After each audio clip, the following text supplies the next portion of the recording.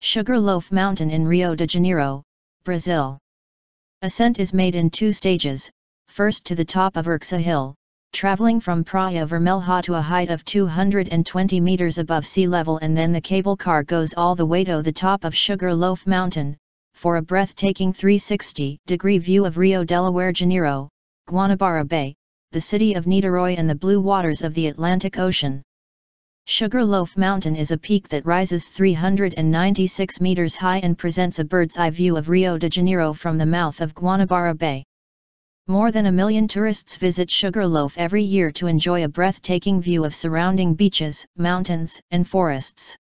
Tickets are sold at the station located at Praia Vermelha, Red Beach. The cable car service runs between 8 am and 9 pm each 20 minutes of interval but note that you can buy your ticket only till 7.50 pm. At this base station you will can find few souvenirs stores and you also can buy them at the Urca Mountain and the same at Sugarloaf.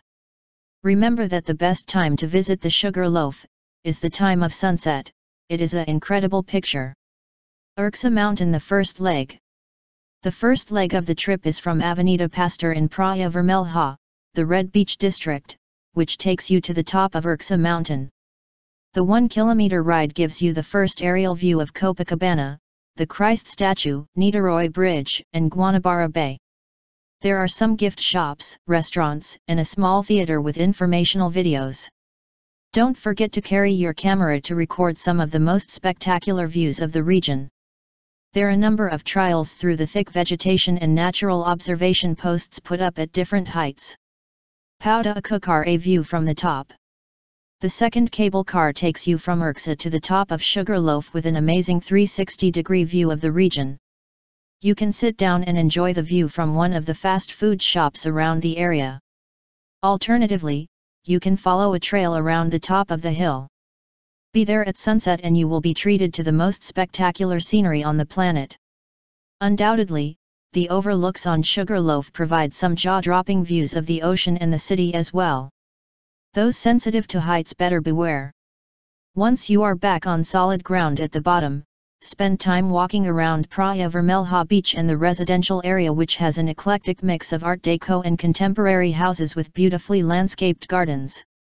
Afterwards why not take a cab towards the Bar Urca, situated on the shores of Guanabara Bay on one of the most beautiful postcards of the world overlooking the Christ and the entrance to historic São João Fort, a region favored by the tranquility and safety. Or maybe, before the visit a lunch at Porcão Rio's, our favorite churrascaria situated at Flamengo, Park, overlooking the bay, Niterói, and your next stop Sugar Loaf. Like us and join us at Xtreme Collections for more fun and knowledge.